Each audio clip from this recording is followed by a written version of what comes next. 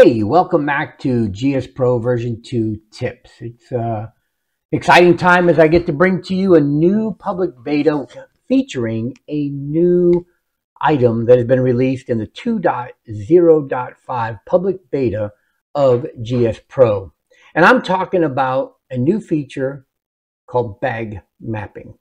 Bag mapping is going to allow you to customize what clubs are in your golf bag virtually and the distances that each of those clubs go. Now, why do you think that's important? The J key. There's a J key shortcut on in the game that will move your view to a certain distance. And up to this point, it's been about 245 yards. The J key will take you to that point, and then you hit it again, and it brings you back. Now, with the introduction to bag mapping, you are going to be able to be 180 yards. The game will automatically pick a club that you have selected that is your 180 yard club. And when you hit the J key, it's going to take you out to where that 180 yard club is expected to land if you in fact hit it 180 yards. Now that's going to work throughout the bag now. So if you have a if you have a lob wedge that you're getting ready to hit, you have say a, a 90 uh, a 90 yard shot and your lob wedge is set for 90 yards, the game will automatically select that particular club in the lower left hand corner. And when you hit the J key, the distance will be tied to that club that is picked. So without uh, further ado and no more talking about it, why don't we just jump into what this new feature looks like, where to set it up in game, and how to use this particular J key in the game after bag mapping. But most importantly, please take a minute to subscribe, like this video, share some feedback, and let me know if there's any other topics that you'd like for me to cover. I'd be happy to do so. And with that, let's get into bag mapping. So we have GS Pro loaded up, and of course we have the public beta.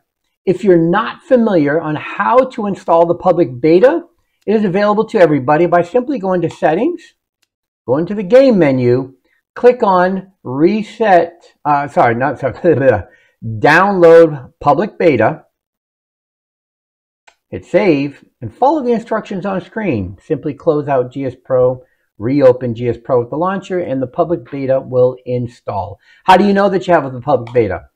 Down here in the lower left-hand corner, it'll say 2.05 public beta. Now let's get into the settings and let's jump into bag mapping. Under settings, under each player, each player will have a new tab called bag.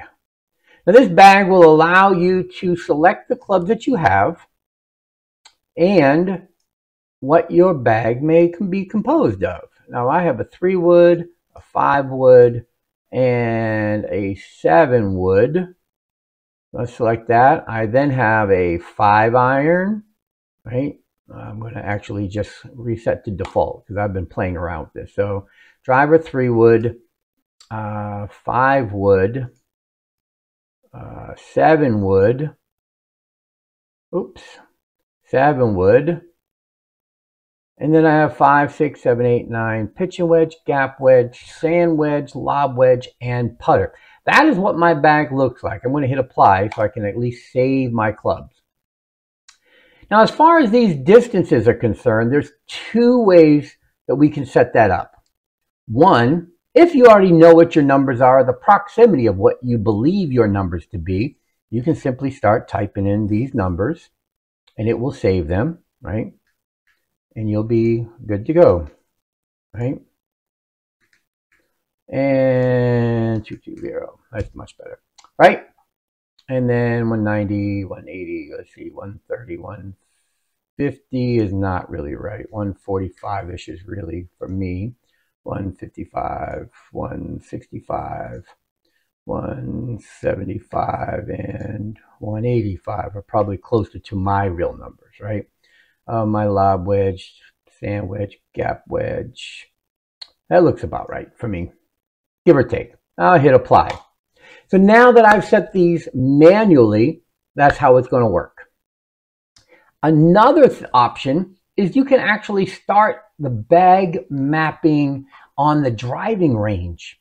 And when you do so, it's going to go through every single one of your clubs. You're going to hit five shots. And each of those five shots are then going to be able to be averaged. And then that number will be what's used in your bag mapping. Well, if you hit a bad shot, well, you'll be able to delete it. Let's take a look real quick. So start the bag mapping.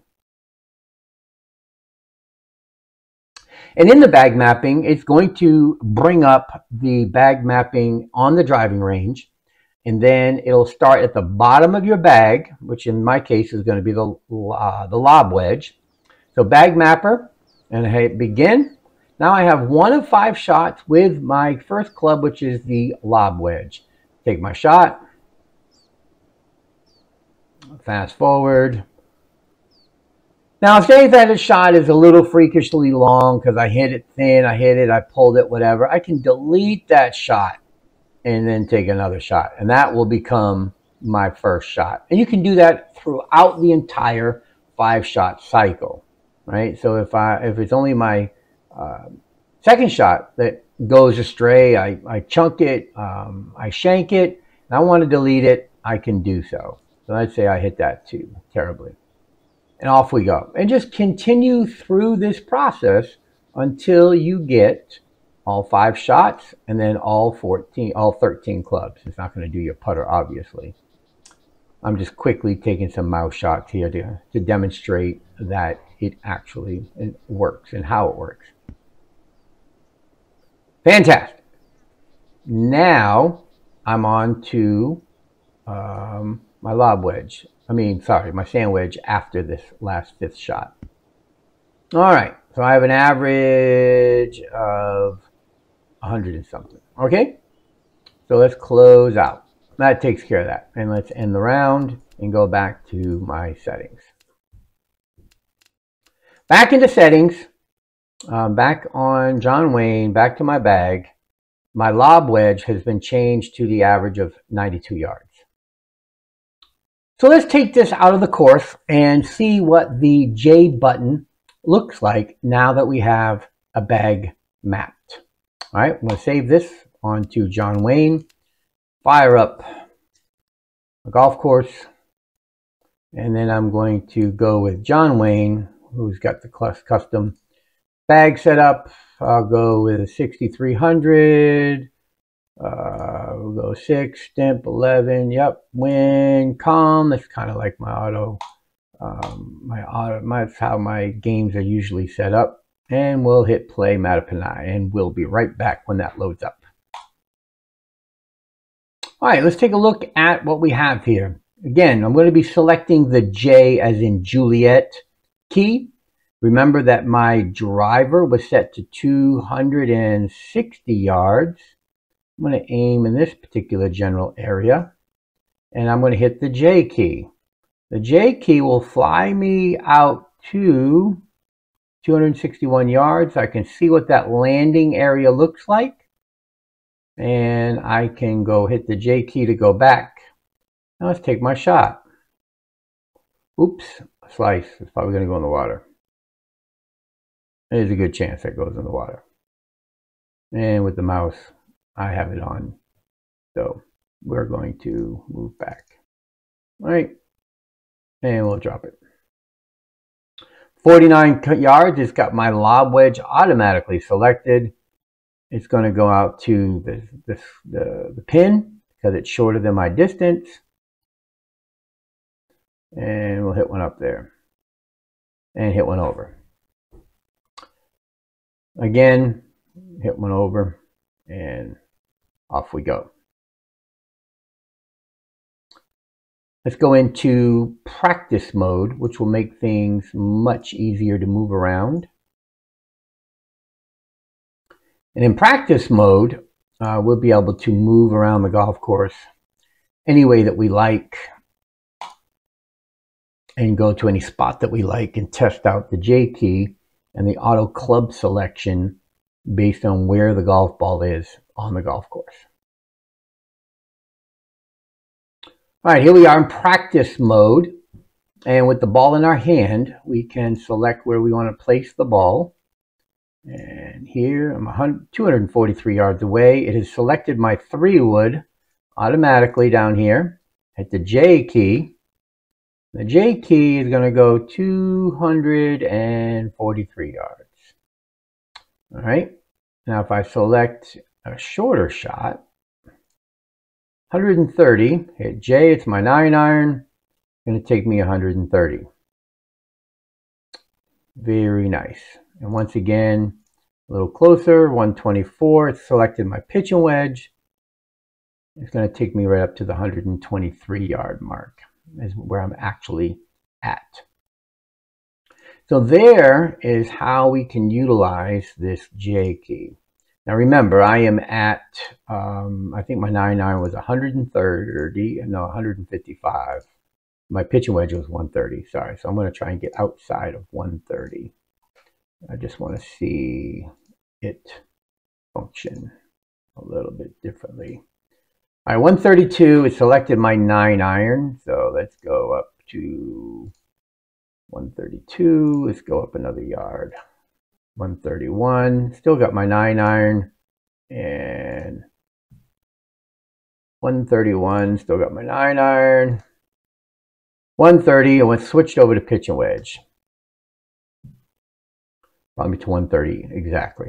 Now, I'm going to switch to a different hole. And if you don't know already, in practice mode, you can use the 0 and the 9 to switch to the next hole. So 0 would go a hole forward, 9 will go a hole backwards. Forward 0, backwards 9. Let's go to this par 3. The par 3 is 114 yards. It's chosen my gap wedge, hit the J key, and it's going to take me right into 114 yards. Okay? And I'm going to hit it up short because I just screwed up my mouse mode. But that's okay. It's for demonstration, we're in practice mode. So hopefully there are no more questions on the J key and the bag mapping and how all of it is going to work together. Again, practice mode is a fantastic tool to use when you want to know penalties, when you want to know shots, when you want to know how to use the software, if you want to know how things are going to interact, if you just want to practice a particular shot, you know, you're having a hard time with these little pitch shots from, from a hill. Well, practice mode is your place to do so. But again, that's for another day. Questions, comments, information, or thoughts on using the J key, on using bag mapping, which is a new feature of 2.0.5. Let me know, and I'll be happy to answer any of your questions, comments, and more importantly, if you have suggestions on how I could make other videos that would help people out much better. But again, please subscribe and let me know what you think. Thanks. Appreciate you tuning in. And until next time, hit them straight.